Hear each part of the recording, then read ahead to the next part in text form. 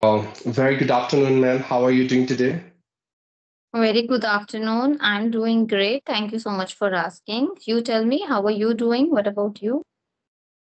Uh, yes, ma'am. I'm pretty well and doing fantastic in my life. Thanks for your kind concern. Yes. Okay. Okay, so I do have some testing question for you that I want to ask you.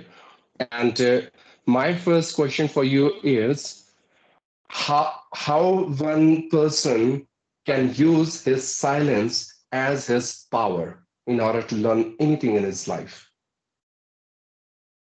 How a person can use his silence Yes. in order to learn anything.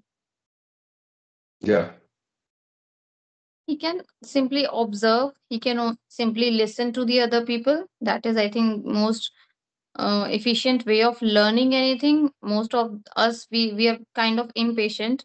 We have no patience to listen the other person carefully. Instead, we want to answer every time. So I think silent means you should quietly observe other people, how they behave, how they uh, learning things and this is how you can learn but most of the time it's not about learning i feel that if you are silent you are getting more resp- respect and attention of other people uh, generally when you are in a group and the four people are talking to each other and there is one person who is silently observing other people people want to listen to him actually. And he's getting more attention he's getting more respect. And sometimes i have feel that uh, this is with the people like introvert again i told you one day. So this is one of the quality of these people. Yeah. Wow, that's a very interesting answer. From right, uh, from right now, I will not speak a single word. I will keep myself as silent okay after knowing this kind of benefits of it. the Question for you is how a language does affect a human behavior? How language does affect on human behavior? language affects on human behavior Yes. language obviously human behavior is defined by his language and the way he talks. If somebody is talking to you so nicely obviously you will feel interested talking to him or her. And on the other hand if somebody is speaking very rough language which is not up to the mark you you don't like to talk with that person. You don't even feel like replying to him. So language plays an important role while it comes to communication or speaking or to judge about a person or a human. So if you are a human being which who you know language but you know how to speak how to present yourself. So obviously you're not considered to be a good person in the eyes of other person. So you always speak um bef- like you should think before you speak anything.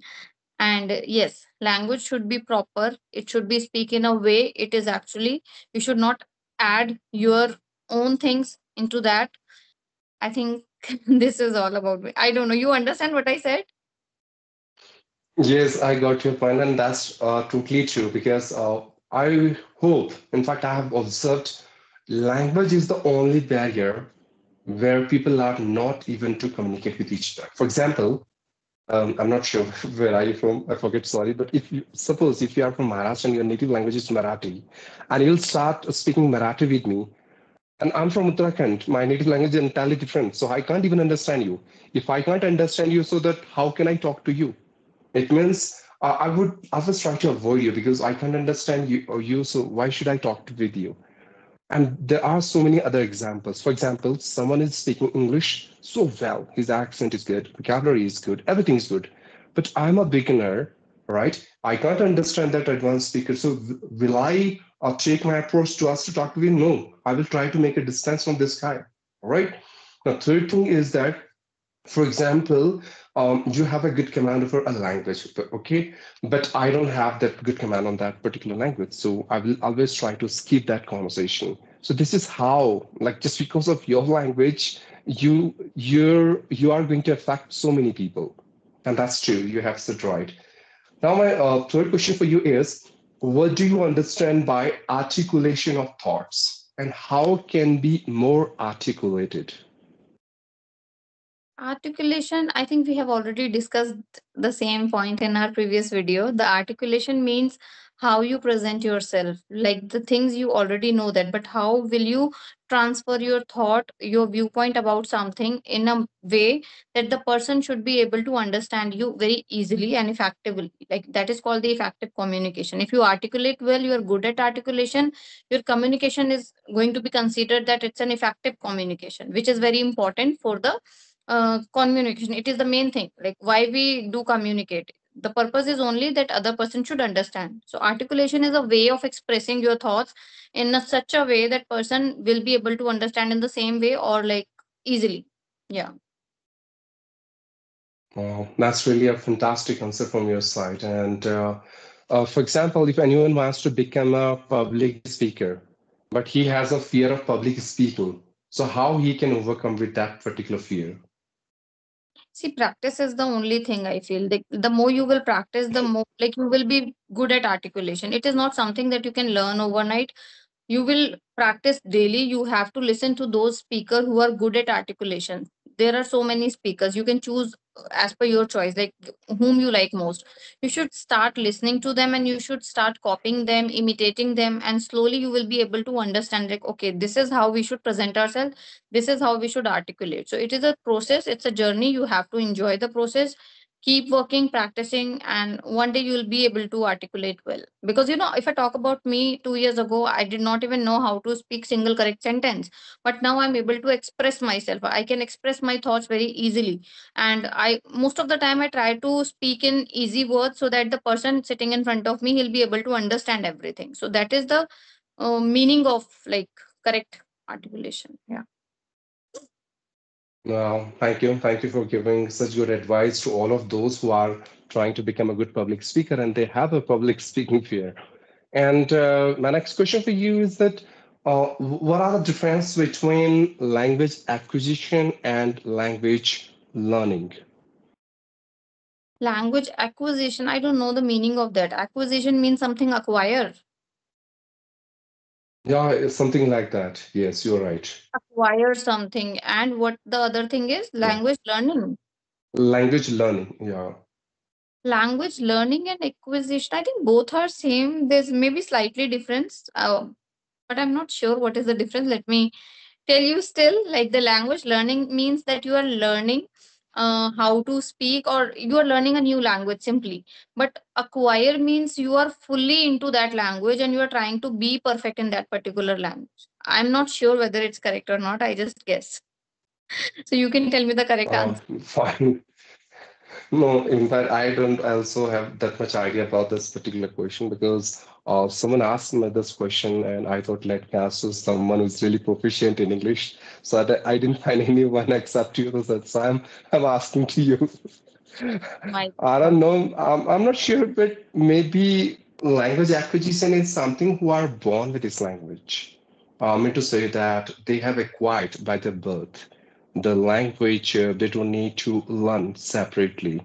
They don't need to go to school in order to learn it. For example, native speakers from United States or United Kingdom, Australia, they all are language acquirer. Means they don't have uh, they don't need to learn grammar and vocabularies and pronunciation all this stuff maybe if they want to take it as a profession for example they want to become an english trainer for that only they have to go through with some courses like TOEFL, CELTA, and all these courses. In that way, though they are native speaker of English, but there are some technicalities of this language which they need to study. So that could be a possible. I'm not sure. But when it comes to language learning, we all are language learners. We are learning this language, isn't it? Like uh, I have been learning this language for the last two and a half years. Mhm. First, I started learning uh, basic vocabs, then basic sentence formation. Then I started learning um, the basic grammar rules. Then I started modifying it. I started learning some advanced expression of English. And finally, I'm still learning how can I express my thoughts, the thoughts which I have in my native language in English. So I would consider myself as a language learner. This is what I know. I'm not sure whether it's right or wrong. The way I have replied to him, I'm replying to you as well. Language learning i understood it is the same but acquisition i'm not sure i will check on the internet but as far as you said like it is all about the native speakers i feel that it might be correct it should be correct yeah Yeah.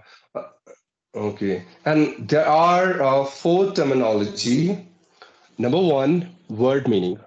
Number two, vocabulary. Number three, glossary. Number four, terminology. And last but very advanced, that is lexicon. How they all are differ from each other. i don't know any of these.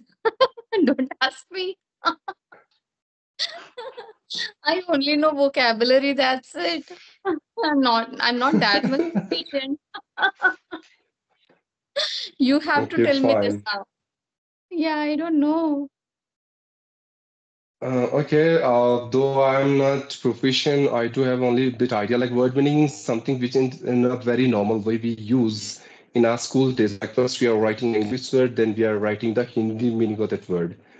Uh, when I'm saying vocabulary, the vocabulary which we use in our day-to-day conversation, as I'm using, and you also use some vocab. Sometimes it's beginner level, sometimes advanced level, sometimes it's intermediate level when I'm saying glossary, glossary is something that we study in books and all. For example, there's a perfect terminology for that particular aspect.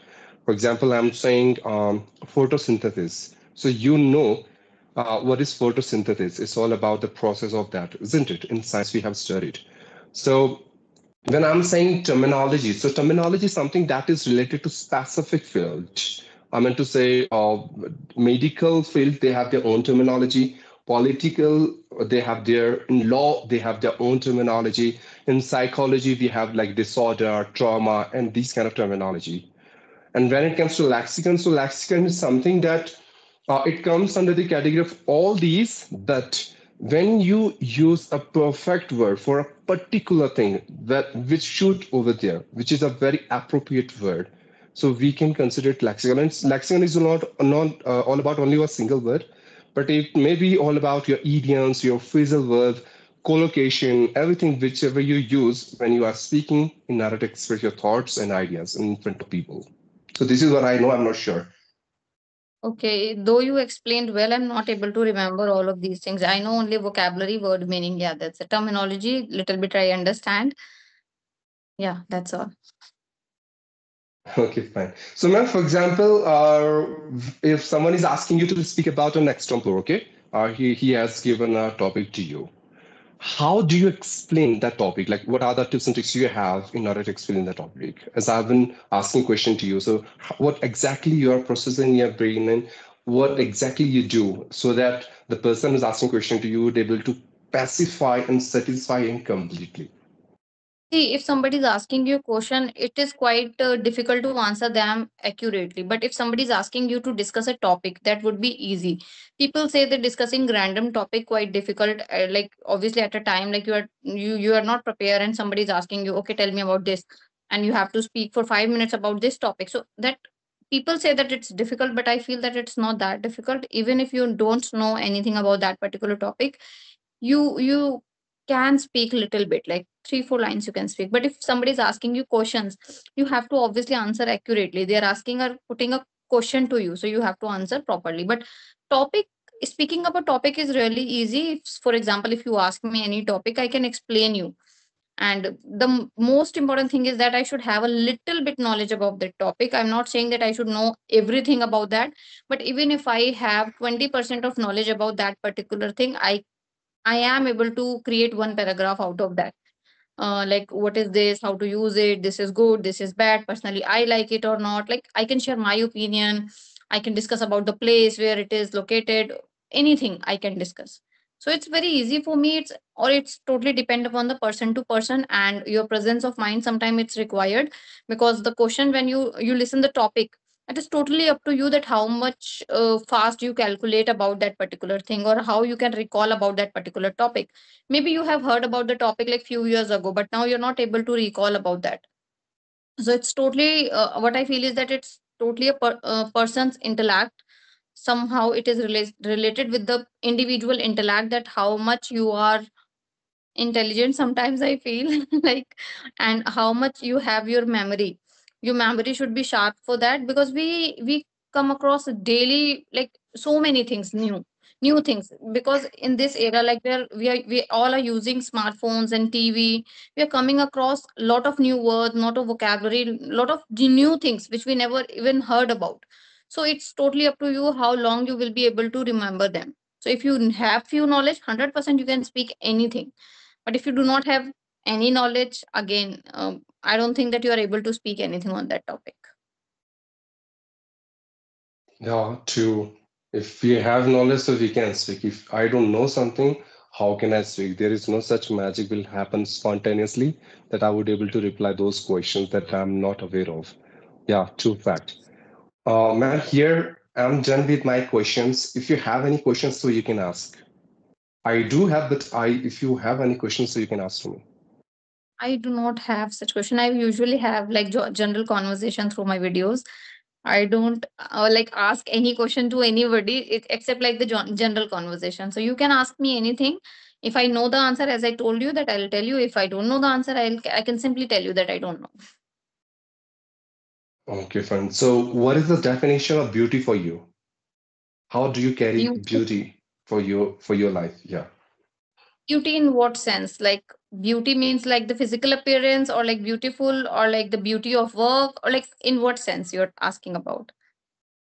Um, holistically, you need to cover all the angles, not from one side. You need to cover all the Uh, diagonal. That's why I've asked this question. Like, what comes in your mind when I'm saying beauty? Okay, so like it is a kind of topic for me. You're assigning me a topic, beauty, and I need to speak on about that. So like for me, if you ask me beauty, beauty related to so many aspects. It's not only about the physical beauty or internal beauty. If you love your work, you can find beauty in that work also. So it's totally up to you that from which angle you're looking for the like beauty. For me, if you ask me personally, beauty means to look presentable, look beautiful and i feel that for like almost all the girls definition of beauty is the same they want to look beautiful they want to dress properly they want want to like do everything which every girl wants. But actually what i feel is that beauty of life like what i can see like my angle to see beauty it is all about the life. How beautifully you lived your life. How beautifully you have uh, running this life like for you. See every person is same every person is getting the same 24 hours. Now it is totally up to you that how you can make it beautiful as per your choices. What are your things you want to do with this life we are getting only one life. Many people saves a lot of money. They say they thought that okay we will enjoy after some time. We are saving it. Many people they don't save any single money. They thought that whatever we have we should enjoy it. That's the beauty of life. Like people say that it is a beautiful nature. We should enjoy every moment. We don't know tomorrow we are we are will be able to see the sun or not. See so whatever we have we should enjoy each and every moment of the life so for every person beauty is different so i think this is it from my end Yeah, true. Uh, I do agree with you. You have covered everything.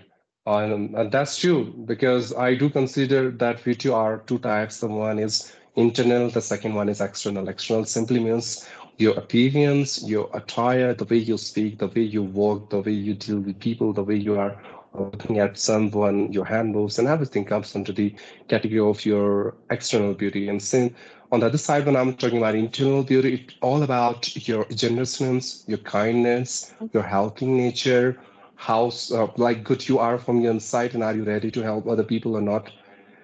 And finally, I would conclude like both are equally important, depends on the scenario. For example, if you are uh, going for fashion designing, okay, fashion designing, I'm not sure, yeah, like that, or you want to become an actress. So definitely there, your outer beauty matters a lot as compared to your internal beauty. At the same time, if you are going for any service where internal beauty is required, then all you have to like uh, reflect your internal beauty. Right? That's really a good answer.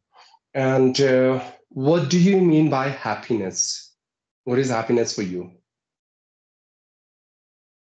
See for me if you ask me particularly me i feel happy when i live my life in my own way honestly. I'm not following somebody's order. I am my happiness is not depend on others. Uh, whatever i want to do with my life i am doing it. That's what happiness for me and i'm actually doing it. I do not listen to anybody when it comes to my happiness. If I feel like going out, eating alone, I go out, I eat alone, I watch a movie alone. I, I, I love love to enjoy with me. So this is happiness for me. I enjoy my alone time alone time. I want to be alone for some time and I want to enjoy everything. So for every person happiness is different obviously somebody is like for someone most of the people they they feel happy when they are with their family and they are like living together and sharing everything it is also obviously for me it is also same um, but sometimes what I feel is that I can be happy without depending on others. It's not very compulsory that if my husband will go with me for a movie, then only I'll be happy. No, it's not like that. I can go and enjoy alone and I can be happy at the same time. So everyone's happiness is like different. We cannot say about any other person. So for me, it's the same. Yeah. True. Sure, means the definition of happiness very person to person. For example, in your case, you have uh, said like, you know, whatever I wanted to do, I'm doing it, and that made me happy, and that makes me happy. In my case, I would say when I see people around me, they are happy, and that makes me happy. So every single person has his own opinion about it. Um, that's really good. Okay, so um, I think you have uh, heard about karma, right? I want you to tell me what do you understand by karma? And there is a saying that if you indulge yourself into good karma, you would be rewarded by God. At the same time, if you indulge yourself into bad karma, you would be punished by God. Do you believe on it? Yes, I What do do you think about it? I think that obviously every person is like we are living on this earth. Every person can do good things, but we choose to do some bad things. That is our own intellect. No one is pressurizing us to think in same way. And what I feel is that major role, like parents play a major role in this life. Like whatever we teach our children, their mindset becomes like that. If like since their beginning, since their childhood, we keep feeling the good thinking, good deeds in their mind so, like after when they grow up, somehow they are connected with those things. That is called sanskar, basically. Like people get sanskar from their house only. So, like if we are giving them those things 100%, they are going to do good deeds. But somehow it's not 100% true. Somehow, like parents are giving 100% to their children, but still they are not doing the same things which uh, parents expected to do, do them. So, karma depends. Obviously, it's person to person vary again, and person has to deep thing deep knowledge about the karmas most of the people they don't care about the karma and all they don't even believe in that they are like don't even believe in god so they are just doing what they like to do they're not thinking about the others emotion most of the people like even if i talk about this kali Kalyuga. We are the people like we we are selfish. If I talk about me, I am also very selfish. When it comes to especially as you mentioned happiness, I'm very selfish. My happiness is not depend on anybody else. So similarly, we are very selfish and we are doing karma to make ourselves happy. Uh, but it should not be the case. We should be kind. We should be generous. The internal beauty, as you said, that is important too, which I cannot see in this era maybe like earlier in Satyug, Dwapar Yug, you must have heard about these yugs. And that time people are not like that. They were so kind. The karma was good. And I have seen like the all Ramayana, Mahabharata, and everyone. I have seen everything. So I knew it. When you do bad karma, 100% you're going to get punished by gods in the next birth not maybe in not maybe not maybe in this birth but maybe next birth. Similarly i have heard one thing that if you uh, take some loan from somebody you have to pay it in the next birth. So i i'm very much you know i took this thing very personally and i always take care of this thing that i should not take any single penny from anybody uh, without any uh, return. So i I do believe in karma and it's uh, individual choice it's your own intellect what you think what you do so i feel that more the people who are more attached to the spirituality they are very uh, deeply linked with this karma and all and they do their deeds very carefully and as compared to the other normal regular people yeah Wow, that's really a super duper answer I've heard from your side. It seems to be that you are totally being indulged into spirituality, or uh, in the early morning you started doing meditation and all these kind of things. I'm not sure, but that's literally marvelous and fantabulous. And uh, actually, man, I have been talking about English and communication for long. I thought today, let me talk about out of the box so that you can blow your mind. You can talk about some different aspects and you can feel uh, the way you speak uh, about English or communication. Are you able to speak on the same about uh, any different or random topic or not? So that's what I'm checking. But uh, in my case, I'm still struggling, but in your case, you are so comfortable with that. It means you have a, not acquired, you have learned this language in a very uh, decent and civilized way. this video again i was not at all comfortable i was pressurizing my mind to think a lot usually i do not take this much time think before delivering my speech but hmm. today because the questions are out of the box and i have never spoke about them in my past for that reason i had to think a lot while i was speaking. So it's not that easy and this is how you learn english actually. I would like to tell my viewers that if you choose easy topic the more topic like easy topic you will choose you're not going to learn anything. Choose difficult thing. 100% you are going to think about that. The process of thinking will be longer but the outcome will outcome you receive you will learn something from that. So obviously we should talk about different topic out of the box so that we can improve some vocabulary or we should also pressurize our mind to think more. And this is how we can be fluent. So maybe somebody's asked me next time these same questions.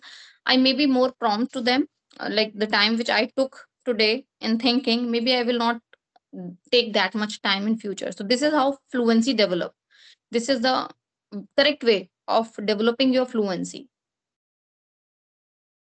Yeah, in fact, man, I have decided like when I'm talking to beginners or at the people who are at uh, intermediate level, I will discuss about on English and communication very basic and normal topics. But when it to, uh, it comes to that, um, I'll get a chance to talk with some professional speakers like you who are English trainer and uh, who are really good in their spoken English. I'll not talk about English and all. Rather, I would go for some random topic that we can discuss and we can come up with some new ideas and that's how we can generate some creativity in our mind because every time I'm talking about a single topic, it's something I would consider it's your comfortable zone. You feel so relaxed and calm when you are answering.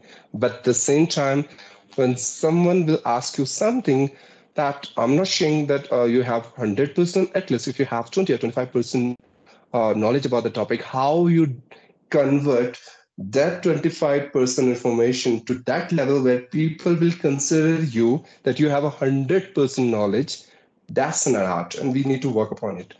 So here i'm done with my all sophisticated adverse questions and um, I'm, I'm literally glad that you have uh, given a very precious time from your side to me and thanks for connecting with me same here. Whenever i connect with you i get a chance to speak a lot and this is how i improve my english. Thank you so much for being here on my channel. And yeah have a nice day. Yeah likewise man bye bye take care. Okay